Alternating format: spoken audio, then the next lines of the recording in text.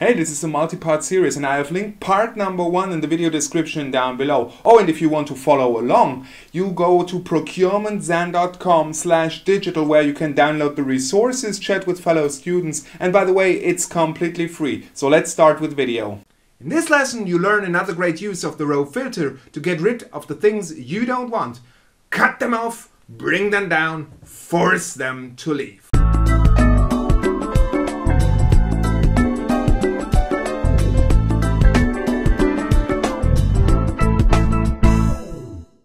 Now that we have finally determined through our very first classification in the last lesson what needs to be deleted, it is time for those mighty rulers to fulfill this vow. But how do we do it? So far we only see who is guilty, aka what data needs to be deleted. And it is an old friend that will take over this nasty task for us. So it's always a nice idea to leave the dirty work to someone else, right? A good old buddy, the row filter, will do the job for us. So uh, let's head over to the judicial side, um, I mean the KNIME application, and let me quickly show you how to do it. So here we are at our trusted workflow over in the KNIME application. And as you might have guessed, the very first thing to do, and you know that already inside out, don't you?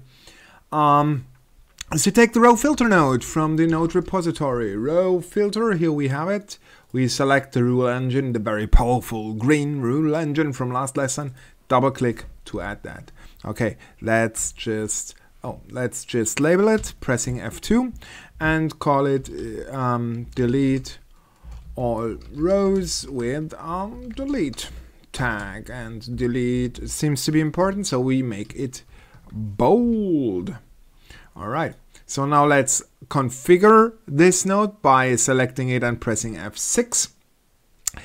And um, the column we want to check, and it's already um, selected here, is the delete tag. Our available columns are over here but we want to check the delete tag. That's the one we're going to testify against.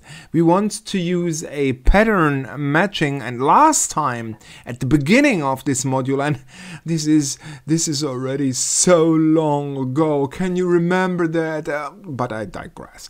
Um, last time we used missing values here to exclude missing values. This time we still want to exclude someone. We are in a somewhat exclusionary fashion. We want to exclude, but this time we want these that have the tag delete.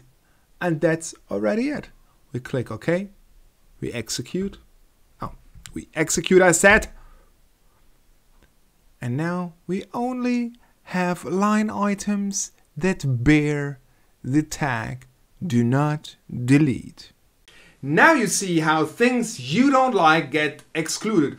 Of course, this is only applicable to KNIME and digitization. So please do not run your nasty colleague marketing Joe's cat through this workflow. I at least take no responsibility if you try to do that. In the next lesson, I show you a powerful node that replaces another powerful Excel function, the pivot tables. Stay tuned. If you want to go to the first part of this online course, click this video. And here is just another video that shows you some very funny stuff you can do with KNIME. Oh, and if you want to download the resources and chat with fellow students, just go here to this page over at procurementzen.com.